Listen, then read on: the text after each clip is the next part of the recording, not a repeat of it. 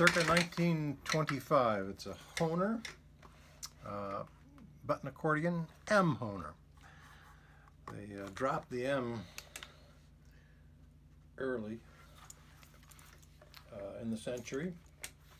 It's in B flat, E flat. It's a 12 bass, uh, two voice instrument. And I've just uh, tuned, tuned it up, tuned up all the reeds. I had to replace some valves. Uh, this is, uh, rather than being waxed, the reed plates are held on by screws and pins, and I, I needed to uh, work on a whole bunch of them that were loose. And I, and I did uh, make the tuning a little bit uh, wetter, which works better with these reeds in that configuration. It's very hard to get uh, reeds really, really close, a very slow tremolo when they're um, uh, uh not rigidly, as rigidly, rigidly attached as uh, with wax. Anyway, so it's all smoothed out and went over the basses also.